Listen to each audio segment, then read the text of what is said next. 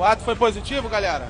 Positivo, positivo. Pela liberdade. De- Pela liberdade de expressão, pela família, pátria. Liberdade de dar golpe, invadir o Congresso, invadir é- o Palácio do Planalto, A STF. invasão nunca é permitida. nenhum. Mas estão pedindo a liberdade da- do pessoal que Ah, tá. não, liberdade de expressão. Não, mas estão pedindo também a liberdade das pessoas que foram presas. que Sim, tá invadiram Congresso. eles estão presos injustamente, porque É, não houve. porque pode quebrar patrimônio Não, público, onde que é- entrar... é, foi provado que eles podem golpe. quebrar? O vídeo é o quê? Clone de todo mundo? Eu, Tudo não, montado. não, Tem, eu tenho, tem muitas edições.